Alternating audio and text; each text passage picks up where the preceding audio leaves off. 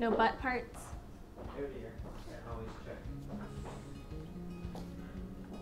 Hey guys, it's Bridget. Today is going to be a really quick video. I just wanted to share four of my favorite fall fashion items that I've been wearing a lot so far this fall. What was that noise? Oh, it's construction. Sorry, there's construction also. Okie dokie. My first fall fashion favorite is this vest. I have had this vest, I think, since my freshman or sophomore year of college. It's just from Forever 21. It's nothing fancy. But the nice thing about it is it's like the perfect transition piece from warmer weather to cool weather. Um, it's just this sleeveless vest, and it's one of those pieces that if I'm wearing like a really boring outfit, just like plain jeans and a t-shirt or something, I throw this on and I automatically look much more pulled together and fashionable. I'll insert a few pictures from Instagram where I wore this a lot, but I love this. It's lightweight. I can uh, wear a sweater underneath if it's cooler, or I can just wear it with a t-shirt if it's warmer. It's a great transitional piece, and I've seen these all over the place this season, and I've had this one for several years now, and I still get a ton of wear out of it, so that's my first favorite. My second fall fashion favorite is something I have talked about a lot, especially on my blog, and it is a classic khaki trench coat. Ooh, fancy. This was definitely a little bit of an investment piece. It's from Express, so it's nothing like excuse me, it's nothing like a Burberry trench or something like that, but it was definitely an investment piece for me, but I've already gotten so much wear out of it. It's a really common um, jacket that a lot of people wear here in DC because it looks really polished, but if I wear it with tennis shoes and jeans, I don't feel weird wearing it.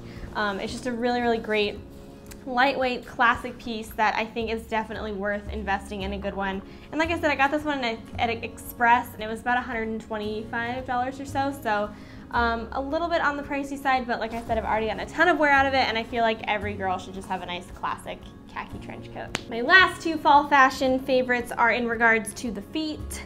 Um, my first is fun wool socks. So one of the things I'm so excited about being in DC about is the cool weather. I might change my mind come February when I'm snowed in, but for now, I'm really enjoying the cooler weather, and I've really been loving wearing like thick wool socks um, that kind of like poke out a little bit out of your shoe depending on what you're wearing. I think it's a fun way to mix prints other than just like with your pants and tops. It adds just a little like a fun little element and I think it adds a cool texture and a great way to sort of cozy up your outfit for fall. Um, these are two of my favorites. I don't know, I think I stole these from my mom like two years ago. But anyways, I think fun, thick wool wintry socks are super cute.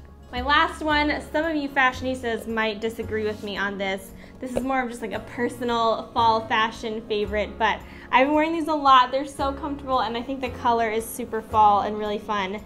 Um, it's these, they're clogs. They're from Dansko and I'm pretty sure these are like nurse shoes, like nurse nurses wear them because they have amazing arch support. They're super comfortable. They give me great height, you short girls out there. And the color is just perfect for fall and it looks so cute with those gray wool socks peeking out with some jeans and my trench coat.